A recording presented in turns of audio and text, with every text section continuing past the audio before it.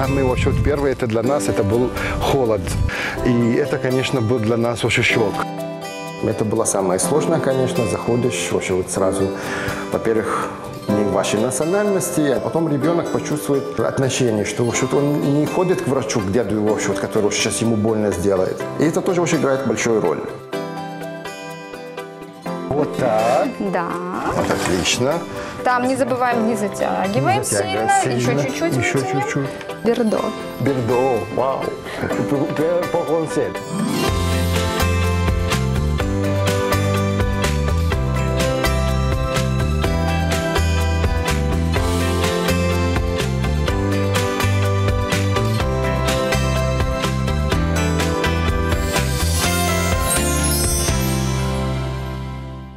Привет. Как дела? Хорошо. Давайте послушаем. Дыши.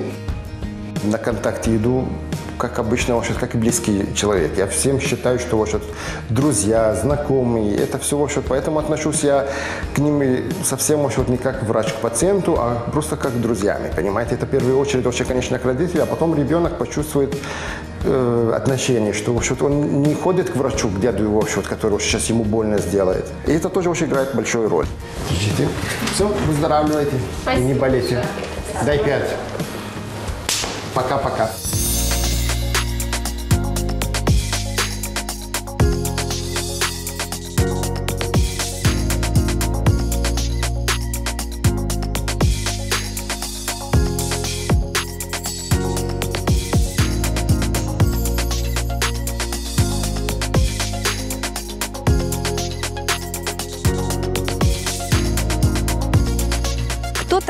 Кава Дагли? Откуда вы родом? А, Где родились, где выросли, в какой семье выросли? Я сам из Сирии, с города Алеппо, небольшой семьи. У меня мама учительница и папа врач. Почему выбор пал на Беларусь? Значит, я уехал из Сирии в 17 лет. Мне было после окончания школы. Приехал в Беларусь именно потому, что у меня отец тут учился. Хотел, чтобы я тут получил высшее образование именно в Беларуси. Когда мы приехали, в Минске как-то по финансовой именно за обучение было дороговато, а тут, в общем, как-то более бюджетно для нас. Расскажите о ваших первых впечатлениях о Беларуси, а, о белорусах. Приехал в ноябре месяце, я это прекрасно помню. Самый в общем, первый это для нас это был холод. Погода холодная очень сильно. И это, конечно, был для нас очень шок. Самые сложности этого что была, это язык, конечно. Я помню первые дни, когда э, после того, как приехали, потом вообще вот выселились там в этих э, в квартирах и хотели вообще вот что-то купить поесть. Раньше вообще вот не было никаких там гипермаркетов, как сейчас, вот, типа в тележку все вообще вот набрал и пошел вообще вот кассы рассчитывался. Сходили на рынки, я помню, это вот в Давидовском рынке там на Рижском шоссе. Ну, взяли вообще вот мы с собой блокнот, что мы не сделали?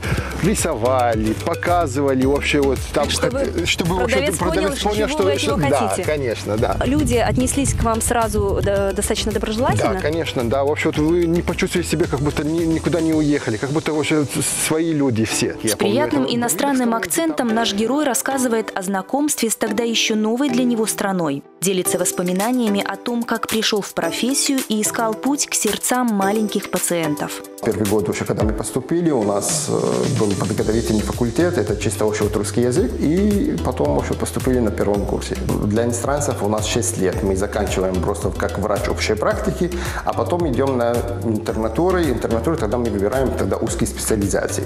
Либо вообще вот стать как отца гинеколога, либо вообще вот выбрать педиатрию. Это вообще то, что было близко к душе. Несмотря, что я вообще такой большой, ну, я очень стеснительный, поэтому С детьми вам проще. мне проще намного, да. Давайте вспомним о вашем первом месте работы. Как реагировали на вас маленькие пациенты и их родители? Я первоначально вообще работал в центральной поликлинике детской участковым педиатром. Визиты на дом, это было самое сложное, конечно. Заходишь, вообще вот сразу, во-первых, не вашей национальности, а через минут 10 общений, все вообще вот нормально, все на своих местах. Вы работали долгое время в государственной поликлинике, потом ушли в частный центр. У меня были э, уже как-то пациенты, они уже начали меня знать вообще вот большее количество. Первое время я начал чисто подрабатывать в частную практику, а потом вообще вот э, перешел полностью вообще вот в частный. Хотел вообще, конечно, попробовать, посмотреть. Часто ли поступают звонки вне работы? Пожалуйста, Кава, Всегда, помогите, почти. подскажите, Конечно, как быть. потому что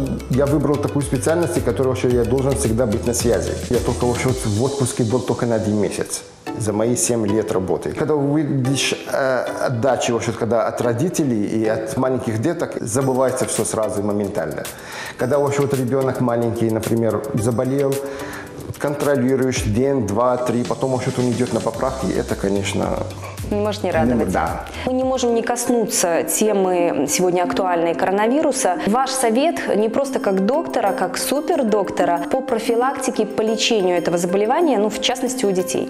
Дети, они, в общем-то, не приносят это обычно бессимптомно, все хорошо, они молодцы, организм, в общем-то, у них молодой, так что тут вообще все будет хорошо. Главное, вообще, вот, от- м, как вам сказать, э, без паники. Потому что паника это, в общем это, это самое сложное что в нашей профессии. Потому что когда вообще вот паникуют родители, это, конечно, катастрофа. Имея достаточный опыт за плечами и наработав хорошую базу пациентов, Кава Дагли задумывается об открытии собственной детской клиники. Конечно, вообще вот это мечта. Дай бог, конечно, вот в ближайшее время или когда-нибудь вообще вот сбудется. Ваша главная награда – это что? Это здоровье моих маленьких пациентов. Это для меня это самая важная цель. Мы должны вас поздравить. Вы который год подряд становитесь финалистом республиканского конкурса «Супердоктор». Какие ощущения дарят вам эти награды? Эти награды, конечно, они вообще вот дают тебе, э, типа, не зря ты стараешься, не зря ты работаешь. Стимулы развиваться Стимул, конечно, дальше. развиваться дальше, да.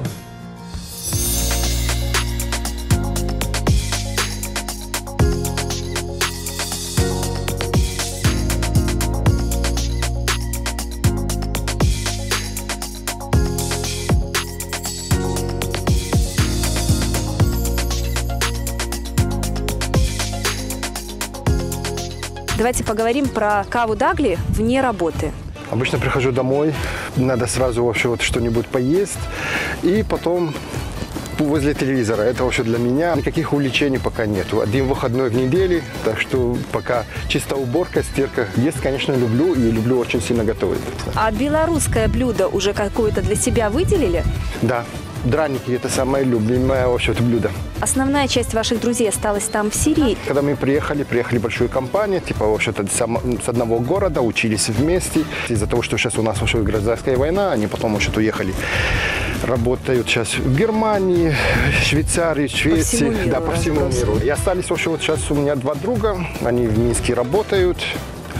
И поэтому так, можно сказать, очень редко видимся, но общаемся часто. Что касается личной жизни. Я такой практичный человек, который очень люблю все осознанно сделать. Надо очень сначала, чтобы хотя бы обеспечить себя и, может, любимую женщину, конечно, обязательно. А так, вообще, вот я мог, конечно, жениться, можно, в 20 лет. Ну, я просто такой человек, что хочу все делать вообще вот как-то вовремя. Обстоятельно. Да. Когда вы представляете свою будущую супругу, она будет вашей национальности или же все-таки белорусская? У меня почти вся молодость вообще вот прошла именно в Гомеле, поэтому я думаю, вообще вот, скорее всего, тут и будет дальше В общем, развиваться. славянские девушки вам нравятся. Конечно. Сегодня Кава Дагли называет Беларусь своей второй родиной, но признается, что пока недостаточно знает об истории, обрядах и национальных обычаях страны. Мы решили это исправить и подготовили для нашего героя небольшой сюрприз – познавательную экскурсию в филиал Ветковского музея в самом центре Гомельского парка. Здравствуйте. О, здравствуйте. Добрый день. Вас вітаю. Сцены філіяла Веткаўскага музея стараабрадніцтва і беларускіх традыцый. Імя Пётра Рыгоровича Шклярова. Ведаеце нешта пра беларускую культуру, пра традыцыі? Не, конечно. Не? Што павінен быў казаць госць, калі дах- заходзіць да гаспадароў у хату? Гэта паглядзець у красны вугал, дзе стаяць нашы іконы, перакрысціцца, калі вы хрысціянін, і казаць мір вашаму дому. А гаспадары, калі гэта добрыя гаспадары і госць а, да нас прыйшоў жаданы, яны гаварылі: з мірам прынімаем. Давайте знаёміцца з традыцыяй. Давайте. Колькі людзей магло зрабіць усю гэту прыгажосць. Много. Гэта ўсё аднаго чалавека Мары Паўлны Каўтуновай, якая вось у нас прадстаўлена на фота. Якраз Марыя Паўлна стаіць у амаль такім жа строі, да? як я. Гэта раней называлася кубло.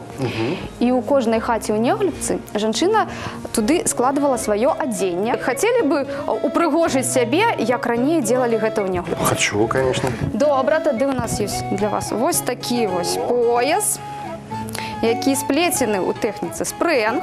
У адлежнасці ад таго, жанаты вы ці халасты вам Холостой. Значит, как мне дальше? тады вам надо на левый бок завязать себе вузел. Ну а калі уже женіцеся, будете тады на правый Правый. бок. Хорошо. А если в среднем, это значит он э, в разводе? Не было так. Не было разводов тады.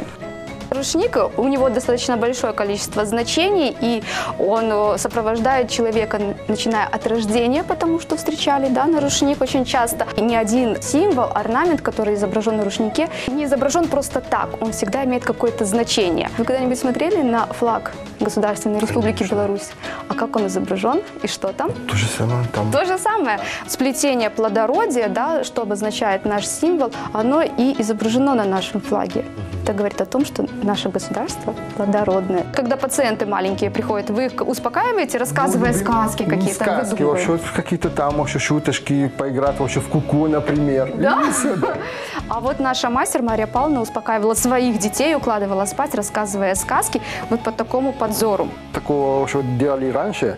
Э, наволочки вообще, вот длинные подушки вообще были у нас. Женщины сидели, и там это все Вышивали. А вышивали э, крестиком или гладью?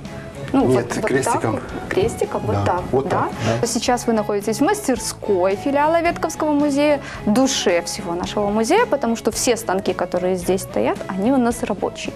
Каждый а, заправлен, э, и на каждом что-то делается. Основа ткачества – это владение поножами, потому что самое сложное заправить станок уже сделали, да, заправить в ниты, потому что каждая ниточка здесь заправлена в свой нит. И в зависимости от того, какой поножа вы будете нажимать, будет опускаться и подниматься одна или несколько ниточек. Попробуйте а первый, второй, третий, четвертый. Первая, четвертая, вот так. Классно, вот это нравится мне. Вот так. Да. Вот отлично. Там не Возьмем. забываем, не затягиваем, Не затягивать сильно. сильно. Еще чуть-чуть вытянем. чуть-чуть. Вот, И снова за, возьмем. И раз. за что берем? Что вот это? Бе- Ну, у человека что? Бе- Бачок. Бедро. Бедро. А это бердо. Бердо, вау. По полосе, да? Так. Теперь челнок никуда не отпускаете. отпускаем. Берете за него и, за вот бердом да, прижимаете. Пристукиваете. Обычно это прям стук, видите? За 17 лет жизни в Беларуси Кавадагли профессионально состоялся в области педиатрии и по праву заслужил звание супердоктора. В ближайших планах развивать свои навыки и принимать маленьких пациентов уже в собственной клинике в Гомеле. В мечтах создать большую дружную семью. И кто знает, возможно, свадьба доктора Кавы пройдет как раз в белорусских национальных традициях.